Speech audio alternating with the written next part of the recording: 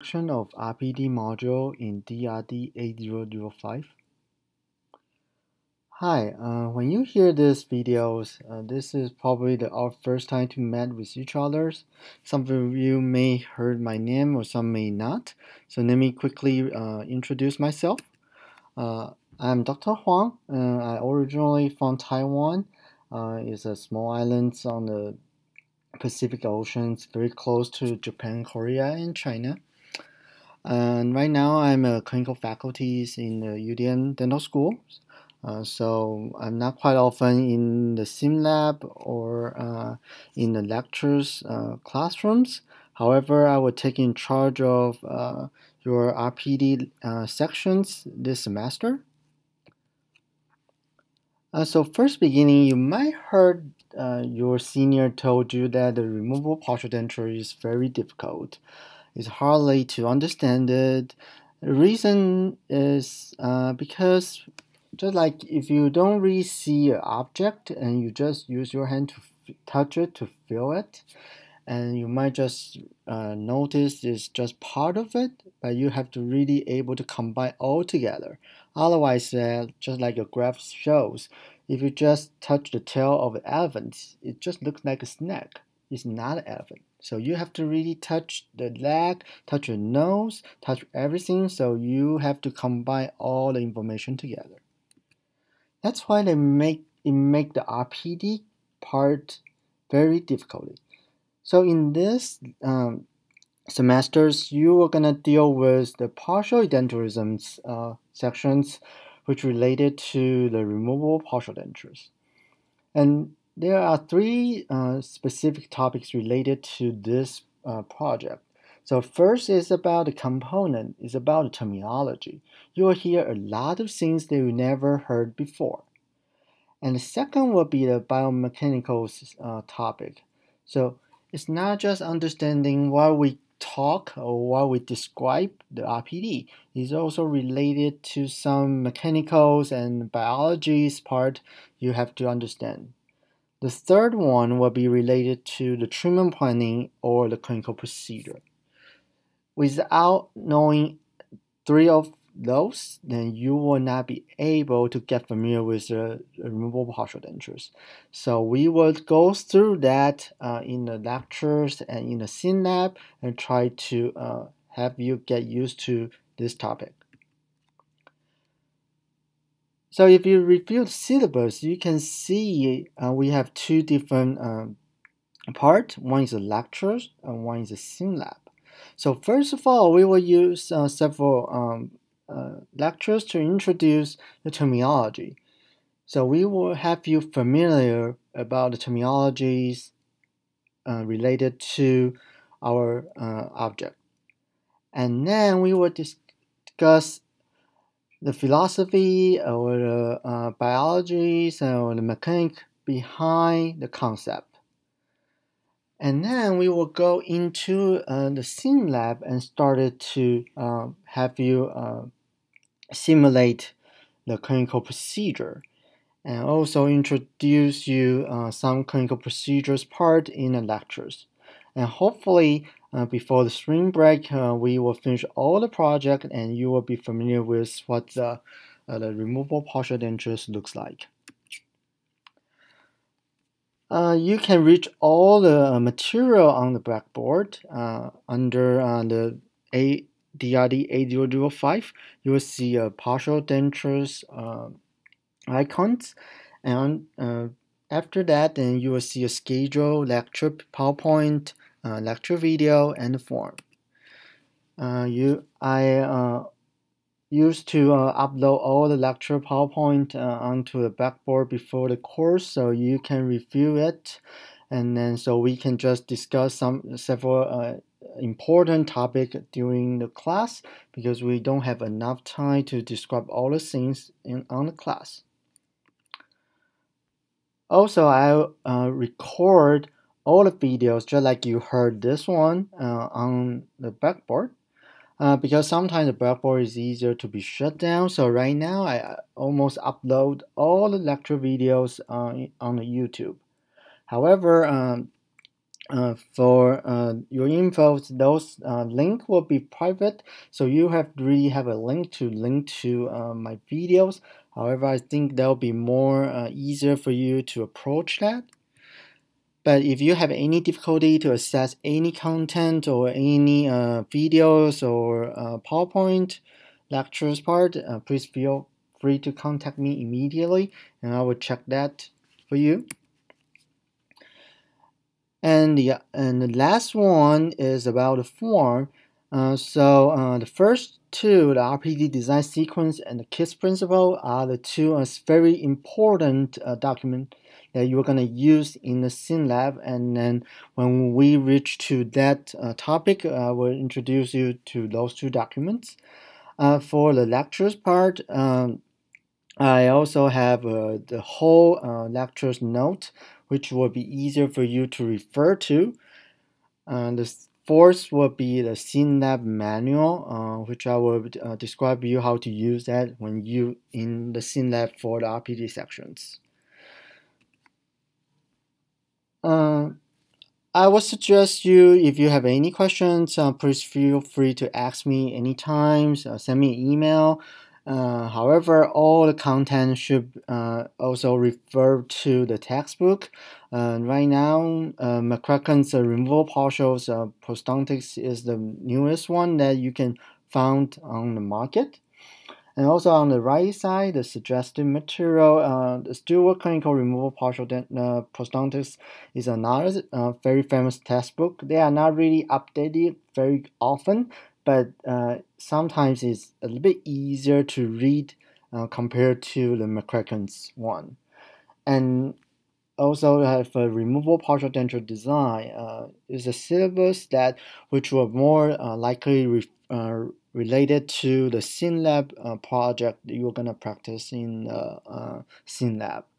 All the textbook or the suggested material definitely can find on Amazon and definitely can find in the library.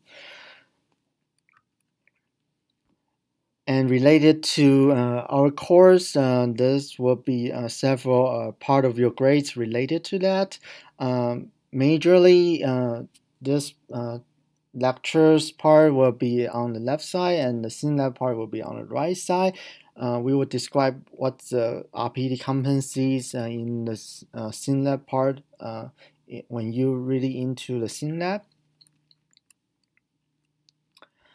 Uh, for my course, uh, for lectures, I will highly suggest you to review all the content before you attend the class.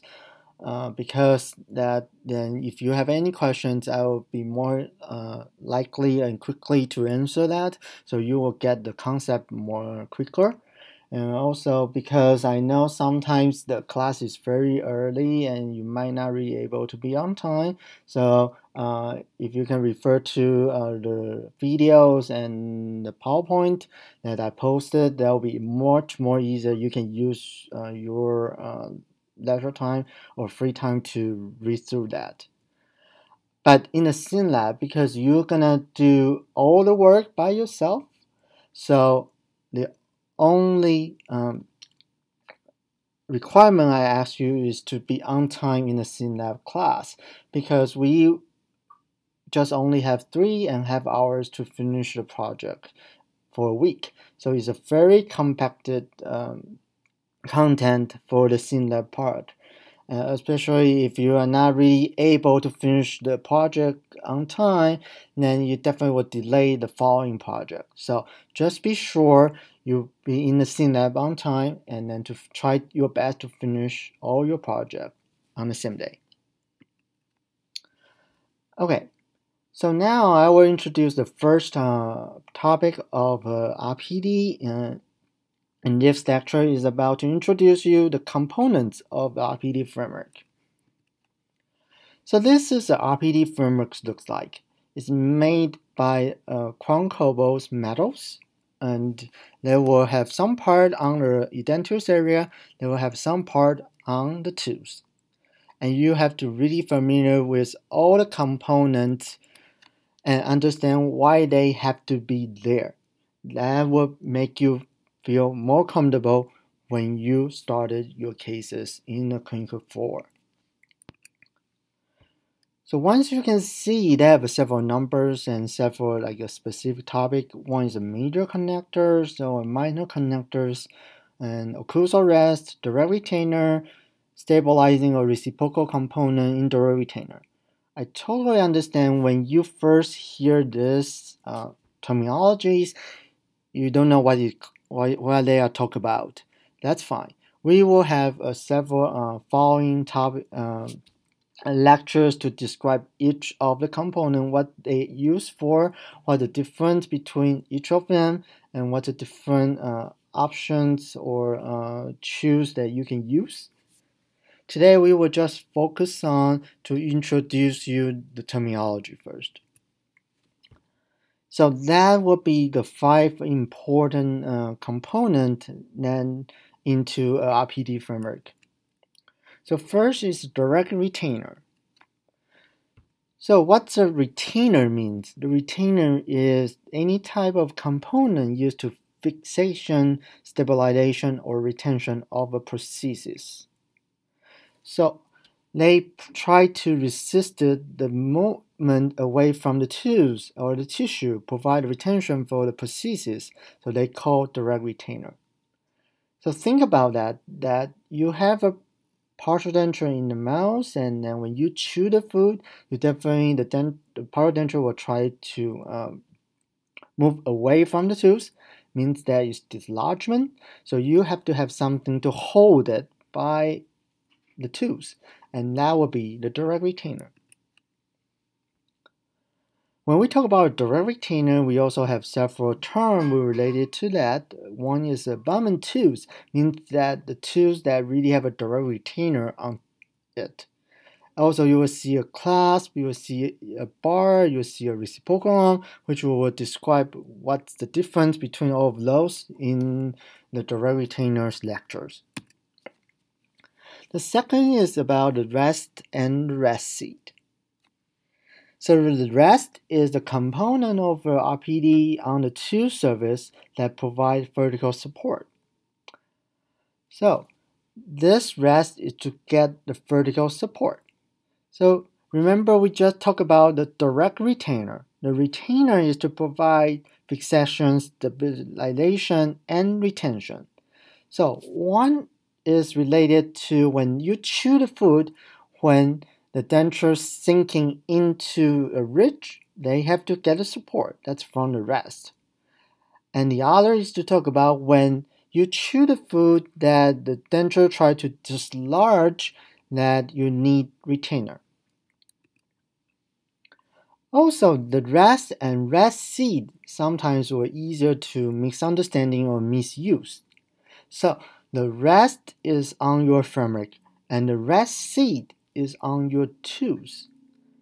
So you, if you describe the framework's component, that would be the rest. That would not be the rest seat. The third terminology is indirect retainer.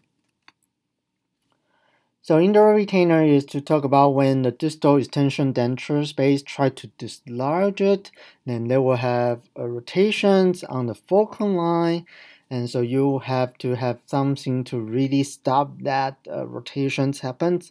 That's why we refer this component to the indirect retainers. I know you definitely not really understand what I'm talking about for that indirect retainer. It's fine. We will use uh, uh, several uh, uh, examples uh, when we really talk about uh, the mechanisms and the indirect retainers topic when we really refer to that. Today I will just quickly introduce you those concepts. So basically to think, you can think the removable partial dentures as like a seesaw. So we have a tooth in the front, we mix the tooth in the back. So we use a removable partial denture to restore the posterior edentulous area. So right now in the front, you have a in, uh, you have a direct retainer to holding by the tooth.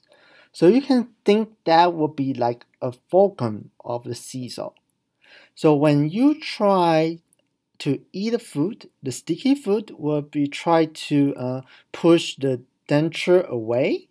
So when they push away, and you have a fixed uh, fulcrum in the front, definitely the, the anterior part will be rotated toward to the tooth or toward to the soft tissue. And that's why you have to have some design in front of it to stop this happening. So it's kind of like this graph showing. So you have the fulcrum that will be in the middle and on the posterior is coming up. So like the picture shows, you will see the anterior, just like a tire, you have to have something in the front to stop it was sinking. Otherwise, that if you don't have that, the front part will touch the ground. So in the mouth, in the front part will touch the tooth and hurt the soft tissue. So that's what happens once the dislodgement uh, happens. So in the middle is your direct retainer, that's a holder. On the left side, on the posterior part, that will have a sticky foot try to dislodge. So you can think about a people on the uh, on the behind try to lift all the scissors up. So you should have something in the front as a supporter and the supporter is your indirect retainer. So what can so if you see the RPD framework pictures, you can see that the number three is called occlusal rest. Number six is indirect retainer, and the arrow seems point to the same area. That's correct because When we talk about rest, remember that it was the component to provide the vertical support. So sometimes the rest will be acted as an indirect retainer because the indirect retainer is a supporter. So they need something can provide the vertical support. So when you refer to the indirect retainer of the removable partial denture framework, that just only could be the rest.